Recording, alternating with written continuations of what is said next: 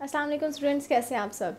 Students, आज हम लोग चैप्टर नंबर सिक्स स्टार्ट करने लगे हैं, जिसमें हम लोगों ने बेसिकली तीन चीज़ें पढ़नी है। अगर हम चैप्टर का नाम ही देखें तो उस नाम में है एसिड बेसिस एंड सॉल्ट्स तो हम लोगों ने इस चैप्टर में तीन चीज़ों के बारे में पढ़ना है। एसिड्स के बारे में बेसिस के बारे में एंड सॉल्ट्स के बारे में। अब हम सेपरेटली इन तीनों के क्या क्या पढ़ेंगे? सबसे पहले हम इंट्रोडक्शन पढ़ेंगे, उसके बाद इनके सोर्सेज पढ़ेंगे एंड देन इनकी हम physical properties and then chemical properties पढ़ेंगे। बस ये चार चीज़ें हम लोगों ने डिस्कस करनी है हर एक टॉपिक में।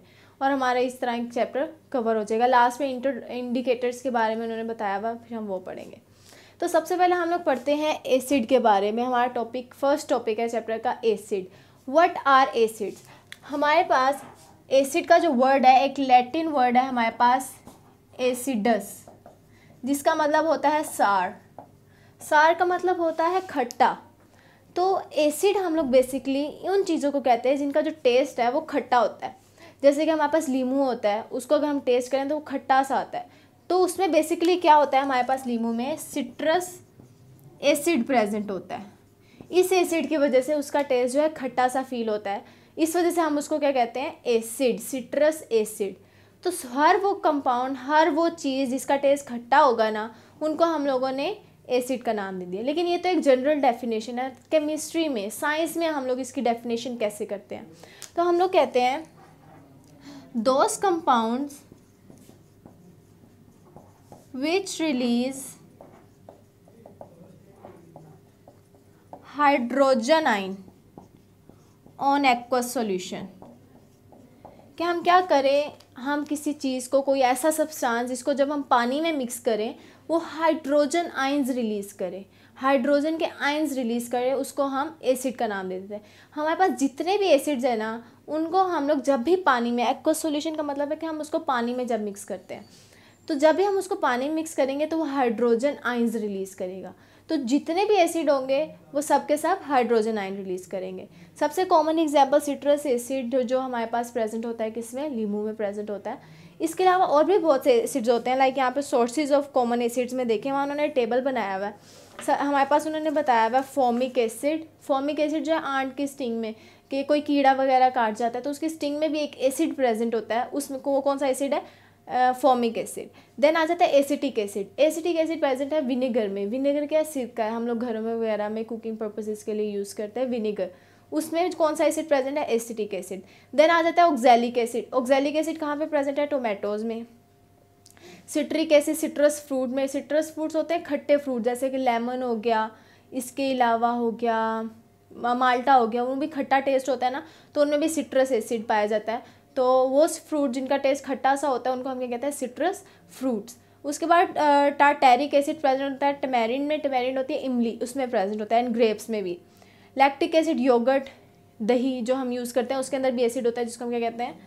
लैक्टिक एसिड इसलिए हम लोग जब दही खट्टा सा हो जाता है तो वो खट्टा सा टेस्ट देता है. क्योंकि उसमें जो जब क्या होता है कि लैक्टिक लैक्टिक एसिड की कंसनट्रेशन बहुत ज़्यादा हो जाती है, तब वो खट्टा सा फील होने लग जाता है. फिर आ जाता है malic acid malic acid present होता है एप्पल में. एप्पल के बेसिकली जो सीड्स होते हैं ना, उसके अंदर प्रेजेंट होता है। स्टीरिक एसिड प्रेजेंट होता है फैट्स में, जो चर्बी होती है, उसके अंदर कौन सा एसिड होता है? स्टीरिक एसिड उसके बाद हम बात करते हैं सोर्सेज ऑफ़ एसिड की, कि what are the sources of acid कि हम एसिड को कहाँ से हासिल कर सकते हैं? अभी तो मैंने आपको बता दिया ना कि कौन कौन से ऐसी खाने की फ्रूट्स वगैरह वेजिटेबल कौन से ऐसी फ्रूट्स और वेजिटेबल हैं जिनमें एसिड प्रेजेंट होते हैं और कौन कौन से होते हैं? लेकिन बेसिक सोर्सेज क्या हैं हमारे पास एसिड के? तो हम अगर नेचुरल सोर्स की बात करें नेचुरली हमारे पास इसके तीन सोर्स होते हैं। या तो हम हासिल करते हैं प्लांट से, या एनिमल से, या मिनरल से।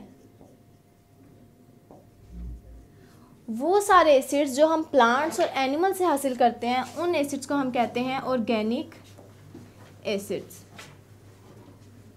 जबकि वो सारे एसिड्स जो हम मिनरल से हासिल करते हैं, उन एसिड्स को हम कहते हैं मिनरल एसिड्स।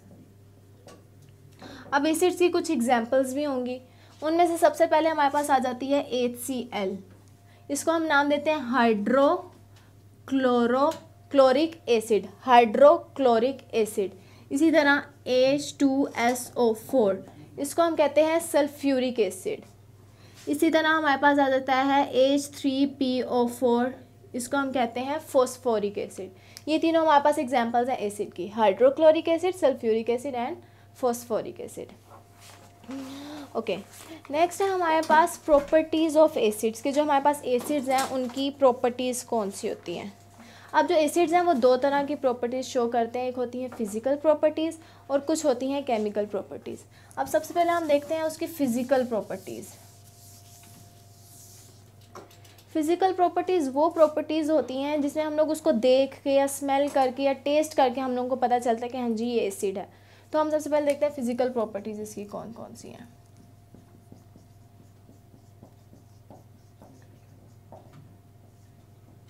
सबसे फ़र्स्ट प्रॉपर्टी तो मैं आपको बता चुकी हूँ इंट्रोडक्शन में ही कि जो एसिड्स हैं, उनका टेस्ट कैसा होता है? सार टेस्ट होता है। कि अगर हम उनको टेस्ट करें तो उनका जो टेस्ट होगा, खट्टा होगा सार होगा। उसके अलावा सेकंड इसकी प्रॉपर्टी है it turns litmus solution red कि ये लिटमस सॉल्यूशंस को रेड कर देता है। लिटमस सॉल्यूशन हमारे पास एक केमिकल कंपाउंड होता है। क्या होता है कि एक सॉल्यूशन की तरह होता है, एक लिक्विड की तरह होता है। उसका कलर होता है ब्राउनिश टाइप्स कुछ होता है ब्राउनिश पर्पलिश का मिक्सचर होता है। अब हम लोग क्या करते हैं, अगर हम लिटमस सॉल्यूशन लें थोड़ा सा, और उसके अंदर डाल दें एसिड तो क्या होगा कि उसका कलर हो जाएगा रेड अगर रेड हो जाता है ना उसका कलर तो हम कहते हैं कि जो हम लोगों ने उसके अंदर एसिड डाला है या जो कंपाउंड हमने लिटमस सॉल्यूशन के अंदर डाला है, वो एसिड है।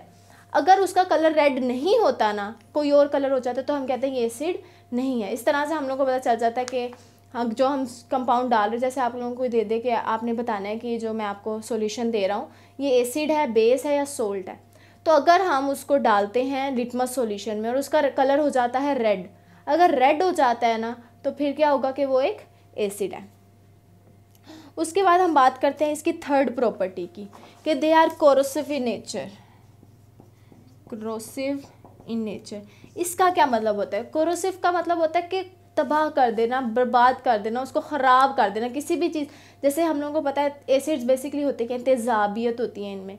तो तेज़ाब हम किसी भी चीज़ पे डालें तो वो चीज़ें खुरने लग जाती, ख़राब होने लग जाती। जैसे अक्सर केसेस आते हैं कि मुँह पे, लड़कियों के मुँह पे तेज़ाब फेंक दिया गया तो सारा मुँह जल जाता है। इसी तरह अगर हम कपड़ों वगैरह पे भी फेंकें, अगर एसिड गिर जाता है, तेज़ाब गिर जाता है तो वो कपड़े भी ख़राब हो जाते हैं। तो इसकी इस प्रॉपर्टी को हम कहते हैं क्रोसिव इन नेचर है ये, कि किसी भी चीज़ को ख़राब कर सकता है, उसको उसकी असलियत को ख़राब कर सकता है। उसके बाद फोर्थ प्रॉपर्टी है they are good conductor of electricity okay electricity जो हमारे पास बिजली है वो कैसे पैदा होती है? बिजली के पैदा होने के ना दो आ, दो होते हैं सोर्स क्या होते हैं? फ्लो ऑफ़ आइन या इलेक्ट्रॉन अगर हमारे पास कोई भी वायर है बिजली की तार है उसमें से अगर इलेक्ट्रॉन्स फ्लो करते हैं इलेक्ट्रॉन्स निकलते हैं या चलते हैं मूव करते हैं फ्लो का मतलब होता है मूव करना।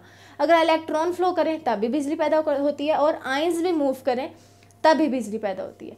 अब, वो कह रहा है कि acids are the good conductor of electricity ऐसा कैसे है? वाई हाउ अभी मैंने आपको इंट्रोडक्शन में बताया था कि जो एसिड्स हैं, वो उनको जब हम पानी मिक्स करते हैं तो वो हाइड्रोजन आइंस रिलीज़ करते हैं। क्या रिलीज़ करते हैं? हाइड्रोजन आइंस तो ये हाइड्रोजन आइन ऑब्वियसली बाद में जो है, अगर हम इसको किसी सर्किट के साथ कनेक्ट करें तो ये हाइड्रोजन आइन फ्लो भी करेंगे। कैसे फ्लो करेंगे? जहाँ वो from higher concentration to lower concentration तो जब वो फ्लो करेंगे तो क्या होगा? इलेक्ट्रिसिटी प्रोड्यूस होगी। इस तरह से जो है ना acid are the good conductor of electricity क्यों? क्योंकि ये जो है हाइड्रोजन आइंस प्रोड्यूस करते हैं। और इलेक्ट्रिसिटी कब बनती है? जब कोई भी आइन जो है, वो फ्लो करता है। ठीक है? उसके बाद नेक्स्ट प्रॉपर्टी है ये हम सारी जो है ना सिर्फ़ ये फ़िज़िकल प्रॉपर्टी में आ रही है, बाकी सारी केमिकल प्रॉपर्टीज़ हैं। ओके उसके बाद नेक्स्ट प्रॉपर्टी है they reaction with metal their reaction reaction with metal okay metals अब जब भी कोई एसिड मेटल के साथ रिएक्ट करता है ना तो वो रिलीज़ करता है हाइड्रोजन गैस कोई भी हम मेटल लें और उसके ऊपर हम लोग डाल दें एसिड तो क्या होगा कि वो हाइड्रोजन आयन रिलीज़ करेगा. जैसे आयरन के ऊपर अगर हम हाइड्रोजन एच सी डाल दें कोई एसिड डाल दें आयरन के ऊपर आयरन एक मेटल है ना तो क्या होगा? हाइड्रोजन गैस रिलीज़ होगी. जैसे यहाँ पर उसने एक एग्जा, कुछ एग्जाम्पल्स दी हुई हैं. मैग्नीशियम है हमारे पास. Magnesium is an example of metal इसके ऊपर हम लोगों ने डाल दी एच सी एल ठीक है? ये मैग्नीशियम जो है ना, इस क्लोरीन के साथ रिएक्ट करके बनाएगा मैग्नीशियम क्लोराइड, और साथ में ये बाकी हाइड्रोजन रह गया हमारे पास तो ये जो है हाइड्रोजन गैस रिलीज़ करेगा। अब अगर हम बैलेंसिंग करना चाहें तो हाइड्रोजन के आइटम दो हैं।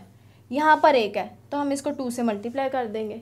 तो अब यहाँ भी दो हो जाएँगे, वहाँ भी दो हो जाएँगे। इस तरह इक्वेशन बैलेंस हो जाएगी। मैग्नीशियम ने एच के साथ रिएक्ट किया मैग्नीशियम क्लोराइड बना और हाइड्रोजन गैस रिलीज़ हो गई। इसी तरह एक और मेटल है हमारे पास जिंक। इसका हम रिएक्शन करवाएँ H two S O four के साथ। H two S O four क्या ये एक सल्फ्यूरिक एसिड है। एसिड है ये, जिसका नाम क्या सल्फ्यूरिक एसिड। ये जिंक जो है, इस एस ओ फोर के साथ रिएक्ट करके बनाएगा Z N S O four बाकी ये एच टू रह गया, ये हाइड्रोजन गैस रिलीज़ हो जाएगी। तो जब भी जो हमारी एसिड्स हैं, जब भी मेटल के साथ रिएक्ट करेंगी तो कोई ना कोई सोल्ट बनाएँगी और क्या साथ में क्या रिलीज़ करेंगी? हाइड्रोजन गैस रिलीज़ करेंगी। अब अगर हम यहाँ पे डायग्राम में देखें तो उसने एक एक्सपेरिमेंट किया हुआ है कि अगर आपको कोई कहे कि ये इस तरह की असेंबली लगा कर दे, कि ऐसे ऐसे ऑपरेटर सेट कर दिया उसने, ऐसे केमिकल रिएक्शन हो रहा है, और वो कह रहा है कि आपने मुझे बताना है कि इसमें जो है ना हाइड्रोजन गैस रिलीज़ हो रही है कि नहीं हो रही? और अगर हो भी रही है तो प्रूफ भी करे। तो देखें, उन्होंने क्या किया हुआ है? टेस्ट ट्यूब के अंदर उसने क्या किया हुआ है? एक मेटल डाली हुई है और एच डाला हुआ है। एसिड डाला हुआ है और मेटल डाली हुई है। उसके बाद उसने ऊपर से एक ट्यूब निकाली हुई और उसको पानी के बीकर में रख दिया अब क्या होगा, जब भी, जब ये दोनों मिलेंगे हाइड्रोजन गैस रिलीज़ होगी। वो हाइड्रोजन गैस इस ट्यूब के थ्रू जो एक ट्यूब सी बनी हुई है, उस ट्यूब के थ्रू जाएगी पानी के टब में। पानी के टब में जाके बबल्स प्रोड्यूस करेगी। जब भी पानी में गैस बनती है ना तो बबल्स प्रोड्यूस होते हैं। वो बबल्स ऊपर की तरफ़ उठेंगे और पानी से बाहर निकलेंगे। तो अब अगर हम क्या करें, हम पानी के ऊपर जो है लाइटर या कोई माचिस की तीली लगाएँ तो क्या होगा कि उसके वजह से जो है ना हल्का सा स्पार्क पैदा होगा, हल्की सी आग सी पैदा होगी। क्योंकि हाइड्रोजन गैस को जब हम बर्न करते हैं ना तो आग पैदा, आग जलती है।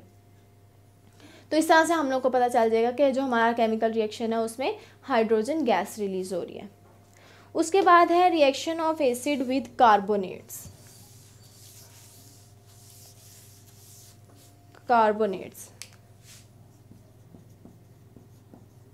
जब भी एसिड्स कार्बोनेट्स के साथ रिएक्ट करते हैं कार्बोनेट्स या बाई कार्बोनेट्स के साथ रिएक्ट करते हैं तो दो चीज़ें बनती हैं। सोल्ट तो बनता ही बनता है ना, हर रिएक्शन में सोल्ट बनेगा। इसके अलावा दो और चीज़ें बनेंगी, एक होगी कार्बन डाइऑक्साइड गैस और एक होगा वाटर जैसे इसने यहाँ पर हम लोग को एक कार्बोनेट दिया हुआ है सी कैल्शियम कार्बोनेट कार्बोनेट वो कंपाउंड होता है जिनमें सी ओ थ्री होता है, ठीक है? तो ये इसका क्या नाम होगा? Calcium carbonate.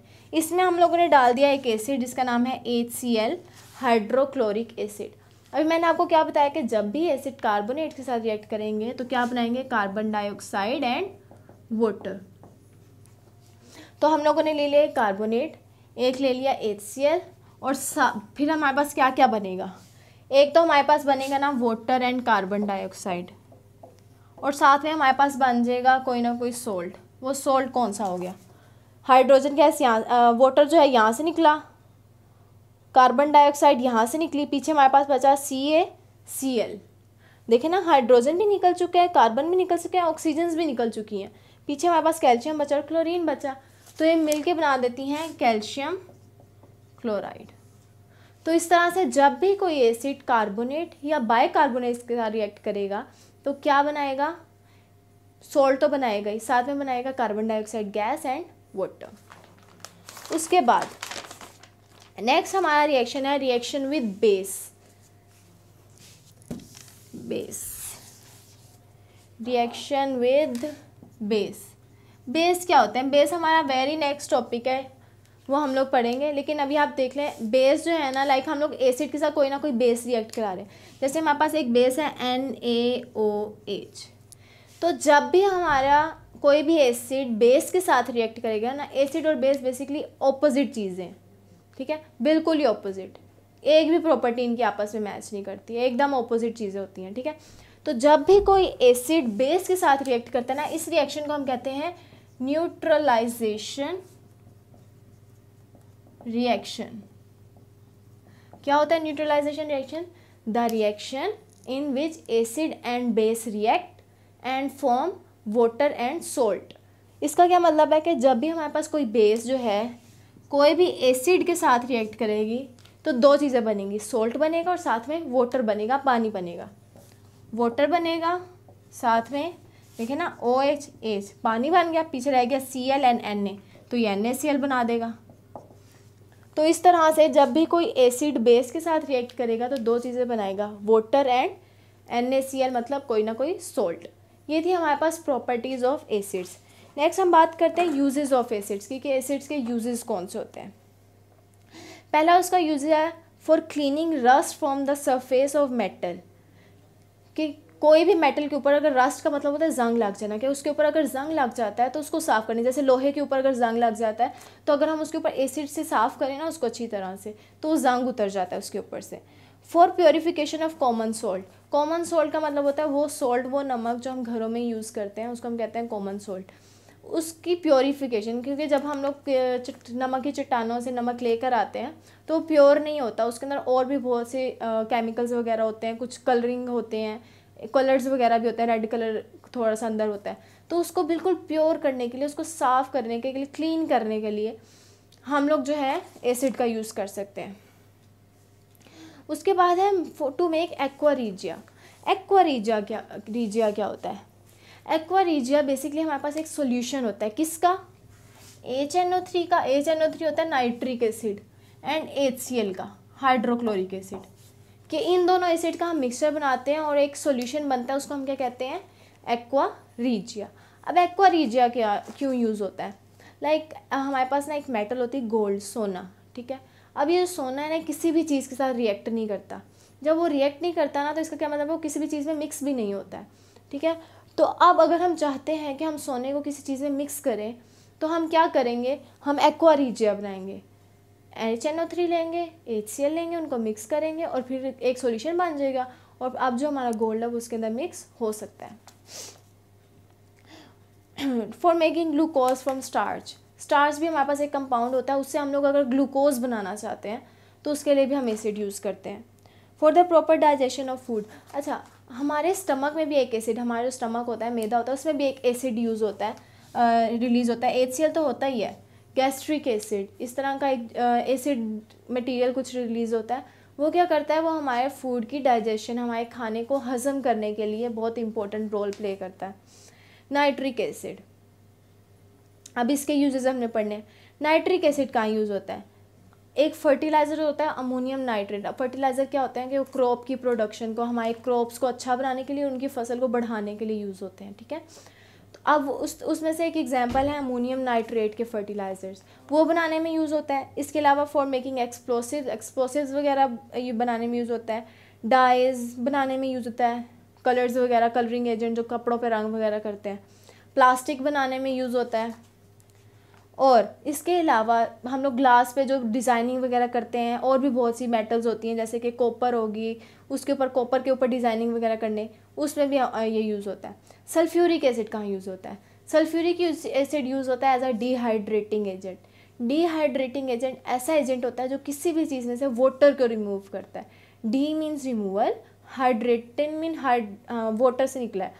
Removal of water तो ये एक ऐसा एजेंट है जो किसी भी जैसे हम लोगों ने एक सोल्यूशन बनाया है और हम चाहते हैं उसमें से सारा पानी हम ख़त्म कर दें। तो हम क्या कर देंगे, उसमें एस्ट्रोसोफोर डाल देंगे और एस्ट्रोसोफोर उसमें से सारा पानी को उड़ा देगा।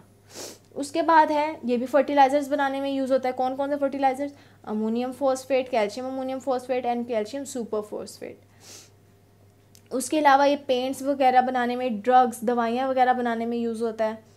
इसके अलावा ये पेट्रोलियम की रिफाइनिंग, के अब जो हमारे पास पेट्रोल पेट्रोल आता है जब हम लेते हैं, जहाँ से हम लोगों ने हासिल करना होता है, वहाँ से निकालते हैं तो सिर्फ़ पेट्रोल नहीं होता उसमें। उसमें मिट्टी का तेल, डीजल वगैरह भी सब मिक्स होते हैं। तो हम लोग उन सबको सेपरेट करते हैं। उसमें भी एच टू यूज़ होता है। इसके अलावा लेदर बनाने में जो हम लोग बकरी जानवरों की खालों से लेदर बनाते हैं, उसमें भी हम एच टू यूज़ करते हैं। इसके अलावा यूज़ होता है लेड स्टोरेज बैटरीज़ में। वो बैटरीज जो हम यूपीएस वगैरह में, गाड़ी वगैरह में यूज़ करते हैं, उसमें भी H two S O four use होता है। यहाँ तक था हमारे पास एसिड का टॉपिक जिसमें हम लोगों ने सबसे पहले इंट्रोडक्शन पढ़ा, फिर सोर्सेज पढ़े, फिर प्रॉपर्टीज़ पढ़ी एंड देन उनके यूजेस पढ़े। This is all about the acids कोई भी क्वेश्चन हो तो ज़रूर पूछिएगा। Thank you so much for watching